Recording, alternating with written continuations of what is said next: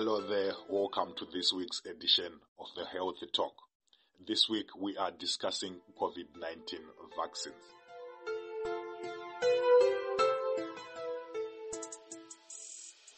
To help us discuss the COVID-19 vaccines, we have former Health Minister Dr. Henry Madzorera. Let's hear from him as he starts by telling us the benefits of the vaccines. The concept of a vaccine is to put a little bit of the disease uh, in a person so that uh, the body recognizes that antigen and starts making antibodies to it. Now the body has got cells that are called memory cells. These may be B memory cells or T memory cells. Um, these memory cells now remember that antigen uh, for a long time. So when the real thing comes, the real virus, the real bug comes, there is already a template for making the antibodies, the soldiers that fight that virus. So it will take only a, a, a, day or two for the body to make the antibodies and start fighting the virus before it multiplies and uh, colonizes the whole body and causes disease. This is how we have conquered uh, diseases like smallpox. Smallpox is now a thing of the past. We used vaccines to eliminate it. We are nearly about to eliminate um, polio from Zimbabwe. Uh, we are using the polio vaccine, and you will see that there are, you know, a dozen vaccines that we are giving now in Zimbabwe for various diseases. Is to train the body to be able to make antibodies to fight the disease before the disease actually comes. Uh, vaccines are extremely important. Vaccines are extremely useful. Dr. Madzorera, who should or should not take vaccines? Can those with allergies accept vaccines? At the moment, we are vaccinating everybody 18 years and above. So these are various categories of people with different uh, uh, profiles. Uh, the 18 years to about 59 years is a different age group from 60 and above, you know, who are a bit more elderly. Uh, we are not yet vaccinating people under 18 in Zimbabwe, but there are other countries which have started vaccinating people uh, from 11 to 17 years, and the, the age groups keeps going down. They are doing trials to see if these vaccines are safe in those age groups. So we will get to know as time goes on. But for now, we are struggling to meet the requirement for the 18 years and above age group. People with diabetes mellitus, people with hypertension, people with HIV, all those people should uh, get vaccinated. They are more at risk uh, of COVID-19 uh, serious uh, disease. So they should get vaccinated and really probably get priority. Uh, the only thing we encourage is make sure that your disease is under control. Make sure your diabetes, your hypertension is under control. Make sure if you're on HIV treatment that um, your immune system is is is, uh, is, is is is is okay. That means your CD4 count is normal. Uh, because if your CD4 count is too low, you may not even respond to the vaccine. Your body might not respond by producing uh, the fight that the body should produce when you are vaccinated. So make sure that uh, uh, you are relatively well uh, before you are vaccinated. Even people with allergies can be vaccinated. They should actually be vaccinated because there is nobody who is immune to COVID-19. But what we encourage is if you've got serious allergies, get vaccinated in a, in a station that can uh, take care of you if you should react uh, in a bad way, if you should react to the vaccine. So go to a hospital and get vaccinated there rather than being vaccinated at some remote rural clinic where help might be very far away. So essentially, that's uh, uh, everybody above 18 should be vaccinated. Uh, let's talk about adverse events and side effects. What is the difference between adverse events and side effects? And after taking the vaccines, do people witness or experience adverse events or side effects? What are the examples of ad- adverse events or side effects that are experienced from uh, these vaccines? The term we use is adverse events following immunization. This term is a general term that describes all bad things that happen to you following immunization. Now, these bad things may be due to the vaccine itself. In other words, it might be a side effect of the vaccine, or they may be coincidental. It might be something else uh, that uh, that happens. So um, uh, that's the difference. So adverse events include true side effects that are caused by the vaccine and other adverse events that have probably nothing to do with the vaccine. An example of an adverse event that has nothing to do with the vaccine is a patient might pitch up with malaria two days after vaccination. But you don't know that it's malaria at the beginning. The patient has fever, rigors, a, a headache, and so forth. And you investigate, you test, you find, ah, it's malaria. The malaria is an adverse event following immunization because it has happened immediately after immunization, but it's not a side effect of the immunization itself. It's just coincidental. You treat the malaria and you are done with it. But true side effects of the vaccine can also happen. People can develop rashes, people can develop anaphylaxis, which means uh, your whole body sort of collapses, your blood pressure goes down. it's a true uh, allergic reaction. Um, those things can happen. They are rare, but they can happen.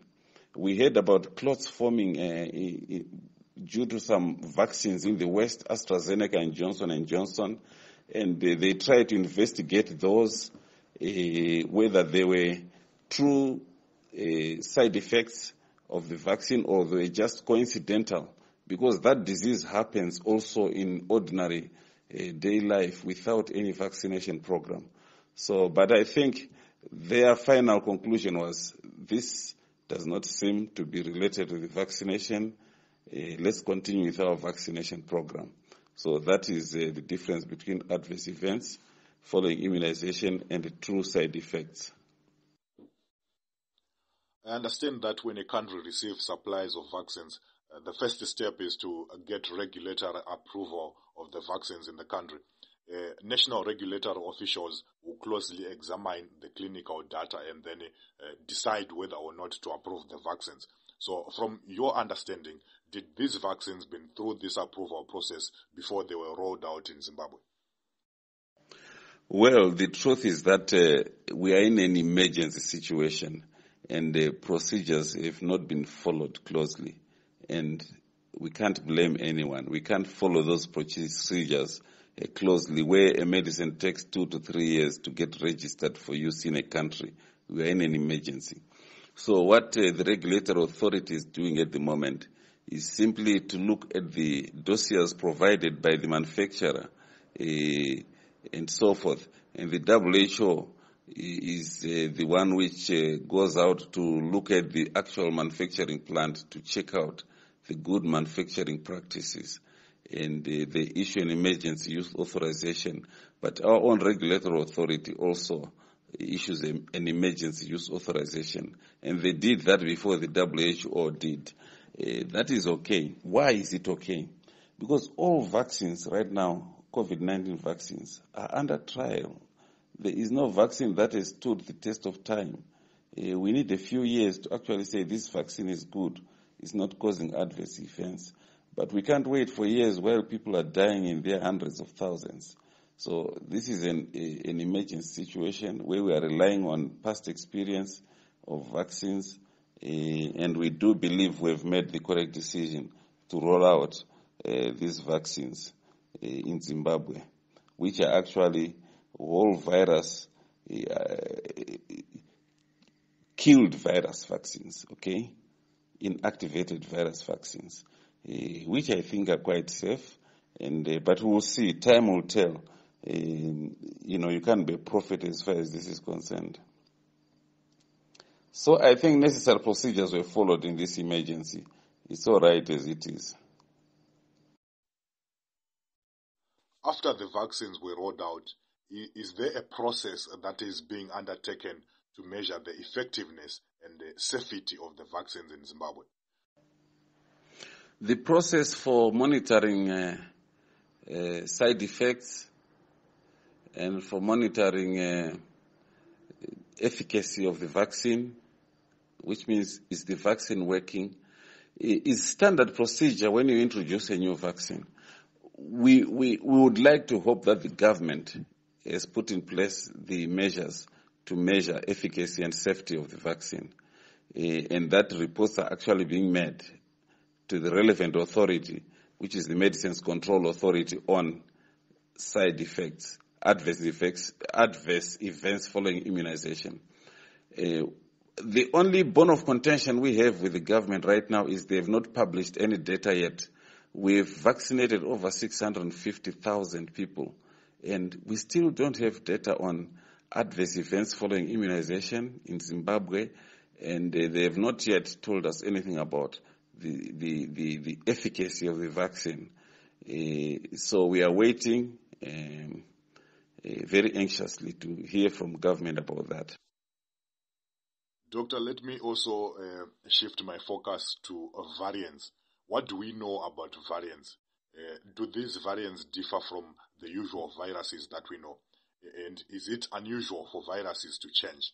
Uh, do vaccines provide protection against these variants? Viruses are always changing uh, their protein structures. It's a survival uh, tactic. Uh, so they also want to survive. So they change their proteins. Uh, the vaccines that we have, most of them are targeting the spike protein uh, on the on the virus, which is that protein which is sticking out, which gives the vaccine the name, uh, the sorry, the virus the name corona virus. So um, they change a few things here and there in order to to to to, to escape destruction. Uh, that will always happen. We we see that with HIV we see that even with uh, bacteria, they undergo mutations when you expose them to suboptimal uh, concentrations of antibiotics and so forth. So it's very usual for viruses to change. Uh, the vaccines that we have work very well. So far, we have no proof that uh, they don't work against certain variants, uh, but that is ongoing work. We must continue to be on top of our game. So they will continue. You know, with the flu virus, the seasonal flu virus, every year we produce a new vaccine for the seasonal flu virus. Why? Because it mutates all the time. And the vaccine you got last year does not necessarily protect you from the flu strain that is circulating this year. That's why you continue. We don't know whether that will be the case with uh, COVID-19, um, but we do hope that the vaccines that uh, have already been produced will continue to protect us uh, against uh, COVID-19 uh, sickness and uh, serious disease. So in short, yes, vaccines protect even against the variants, but we have to wait longer to see whether the vaccines that we have now will continue to protect against all variants that will come in the future. So just another word on the variants. Um, it was on the news today that uh, uh, the world is preferring to stop stigmatizing countries by saying this is the South African variant, this is the Indian variant, this is the British variant. So they've tried to give them simple names like uh, the Alpha variant, the Beta, you know, uh, the Delta variant, and so forth, uh, so that we identify these names, these variants using neutral names rather than stigmatizing a country. Uh, we'll see how well that works.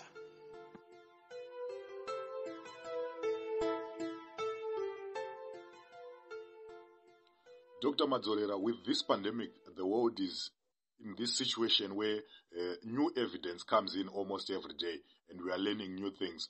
Uh, but at the same time, we have to we have to act in real time to protect ourselves. How, in this scenario, with the new variants, how can people protect themselves, and what should our government be doing?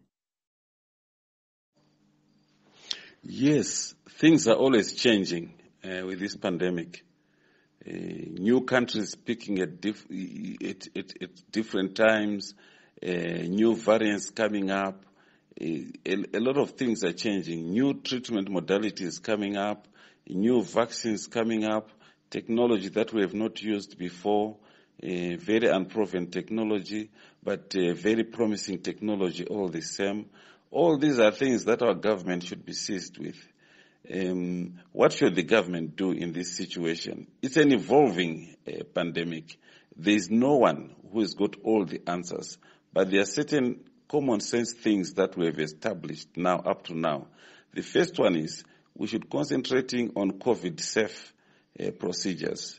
The things that we have mentioned already, you know, uh, social distancing, masking up, uh, hand hygiene, cough etiquette, you know, isolation of, of those uh, who who are positive for COVID-19, contact tracing and uh, community surveillance, uh, quarantining people from outside, and so forth. In this instance, I think one important thing that our government should concentrate on, instead of concentrating on lockdowns, mind you, we believe in lockdowns and we believe they help, but they are not the panacea to this problem. Uh, the government should not just be locking down cities uh, and the country willy-nilly. Lockdowns should be informed by science and lockdowns should be reasonable because we can destroy people's lives and we can destroy the economy by doing unreasonable lockdowns. In this instance, I think uh, reducing uh, immigration from hotspots like India at the moment is the most important thing. we should not have immigrants from India. If somebody really has to come to Zimbabwe from India, they should uh, be quarantined for two weeks uh, at a designated place. This business of saying go and do self quarantine at home doesn't work because when people get home, their relatives are excited. They all come to see that person to greet them and hug them. You know, they haven't seen each other for years. Uh, so self quarantine at home doesn't work. We need institutional quarantine when we are faced with such a difficult problem like the Indian uh, outbreak, uh, which is really raging like a bed fire. Uh, most countries have done that, and uh, Zimbabwe, I'm glad Zimbabwe has said uh, we are now quarantining people from India and we're discouraging immigration from India. So these are the extra things that government can do, but most importantly, COVID safe procedures within the country uh, and just uh, patrolling our borders and making sure that we don't get illegal immigrants. Uh, let's talk about the storage of vaccines. From what you know, how are the vaccines being stored in our country?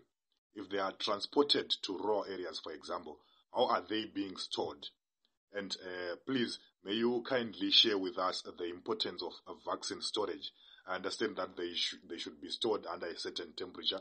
Uh, what's the temperature range for the storage? The good thing about uh, all the vaccines we are using is the storage temperature required is the same as the storage temperature required for all the other vaccines that we have been using in our expanded program on immunization. So we have the infrastructure and the hardware already uh, to use. We have the static stations, the clinics and the hospitals where vaccines are stored between 2 degrees Celsius and 8 degrees Celsius. And we have the cooler boxes that they use to go out uh, on outreach missions to vaccinate. These cooler boxes will have ice packs and they will be able to keep the temperature uh, for the vaccine between 2 and 8 degrees Celsius, uh, and that's okay. So, yes, the cold chain is being maintained within the country, and because the vaccines that we chose uh, are quite friendly to our situation, they don't require any extra infrastructure or hardware. Doctor, does taking the vaccines mean an end to COVID 19 and uh, back to normal life?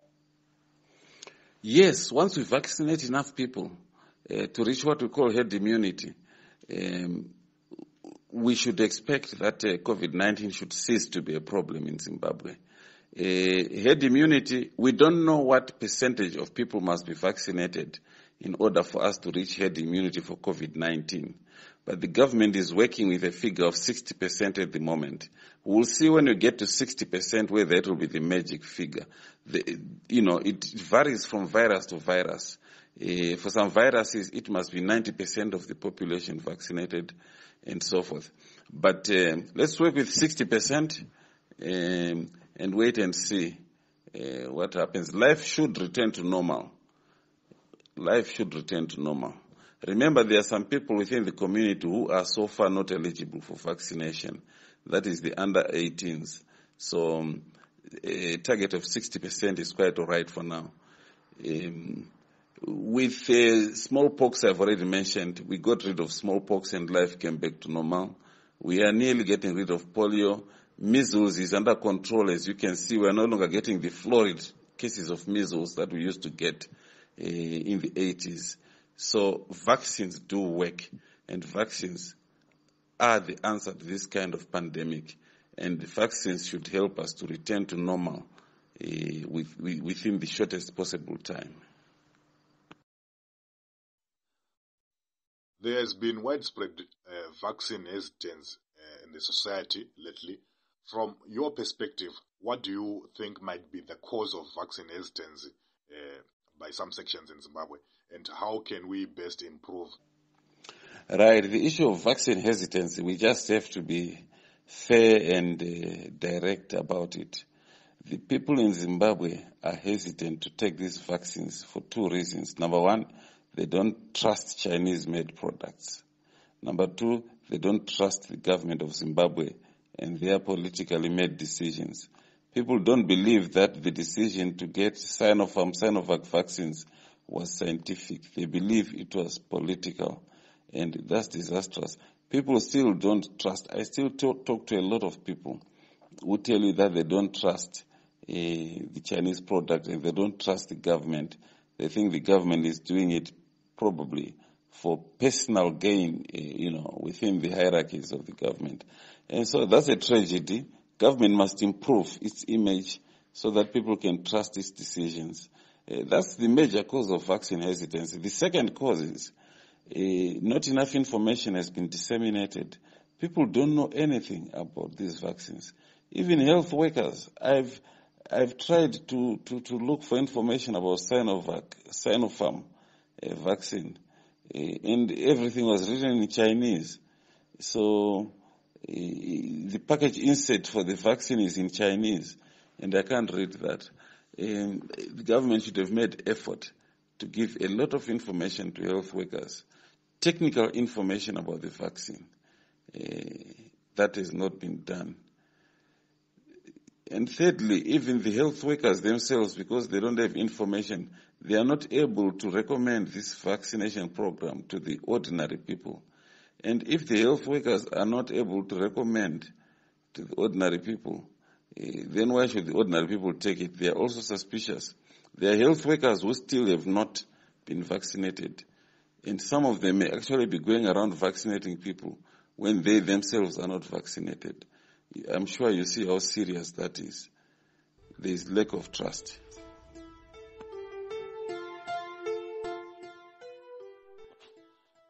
Thank you very much, Mr. Madzorera. It has been a pleasure discussing the COVID-19 vaccines with